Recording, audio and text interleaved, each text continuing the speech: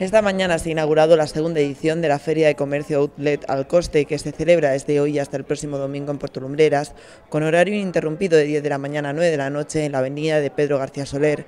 Este año, según ha explicado el concejal de Comercio, Ginés David Piñero, se ha incrementado tanto el número de expositores como el espacio para cada uno de ellos. Incrementado el número de stands que en la feria, concretamente hay un número que ronda los 30 stands, son muy variados en cuanto a los productos que se ofertan en la feria, unos precios súper económicos. Mientras que desde la Confederación de Comerciantes de Puerto Lumbreras y la Cámara de Comercio e Industria han deseado que se obtengan los mismos resultados que el año pasado. Y esperar que eh, esta feria se parezca todo lo más posible a la del año pasado que fue todo un éxito. Gracias.